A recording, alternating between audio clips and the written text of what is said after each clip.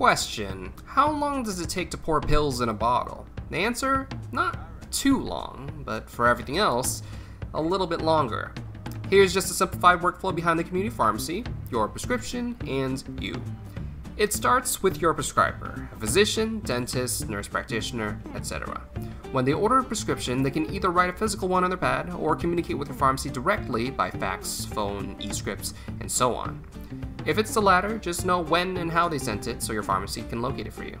If it's the former, physical prescription, you'll drop it off by the pharmacy drop-off window. With initial screening, sometimes a pharmacy can't fill a prescription based on the order itself. For example, if this is for a refill and there are no refills remaining, or if this is an expired prescription, then the prescriber would have to write a new order. But as a courtesy, some pharmacies can fax a refill request for you. For anything that has an obvious harm, the pharmacist can refuse to fill in the interest of patient safety.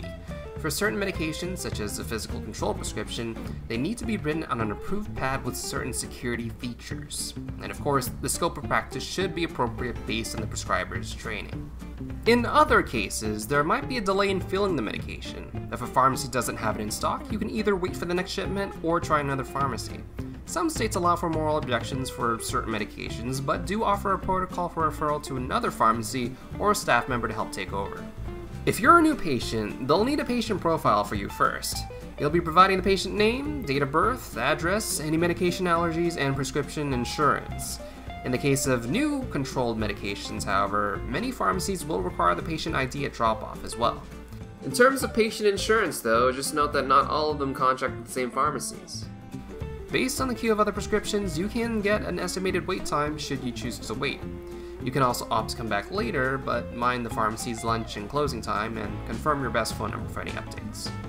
Sometimes, while the medication is being typed up or reviewed, clarification is required from the prescriber to avoid any possible errors or vague instructions.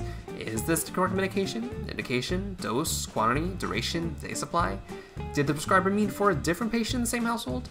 Is the medication appropriate for the age, the metabolism, comorbid conditions, pregnancy, breastfeeding, other medications, allergies, formulation, or the route? When the medication was sent, were there any glitches, typos, or contradicting start dates? And for new controlled substances, a pharmacy may have a corresponding responsibility to confirm additional information with the prescriber. After being typed up, the medication is billed to your prescription insurance. If the insurance has recently changed, make sure that the pharmacy is aware and bring in the new card. If you have not yet received any new information and believe it is still active, you as the cardholder should give your insurance a phone call to confirm. If the insurance is up to date, the information sent from the pharmacy is reviewed by your health plan. If there are no rejections, they will send back the approved coverage for the medication, including any relevant copays or co-insurances. Depending on the type of medication, a health plan may reject the claim or ask to receive some additional information. A detailed written order, DWO form, is a form that may be required to pay for certain products such as diabetic test strips and lancets that's completed by your prescriber.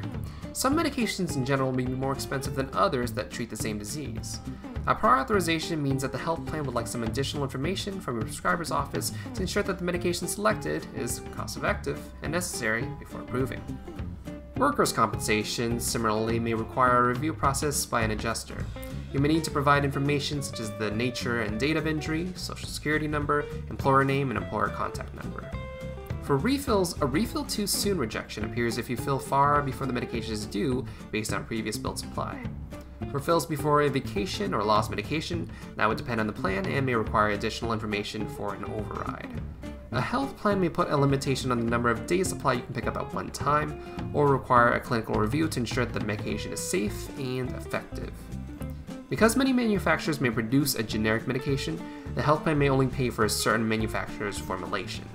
However, if the medication is not covered in the insurance formulary whatsoever, the prescriber will have to change the therapy to a preferred medication that is covered. Otherwise, you may opt to pay out of pocket, which is often the case for many over-the-counter items. Once the medication is counted and verified, the pharmacy will notify you nearby or by phone to let you know it'll be ready at the pickup window. For new medications or newly approved refills with changed details, some states require at least the offer to consult by the pharmacist. So avoid coming in during lunch hours if possible when only one pharmacist is working. When you finally pick up your medication, the number of refills remaining as well as the order expiration is normally printed on the prescription label.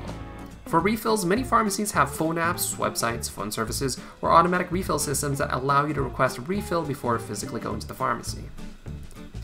In spite of all of these details, keep in mind this is still a simplified workflow generalized to hundreds of prescriptions at the pharmacy per day.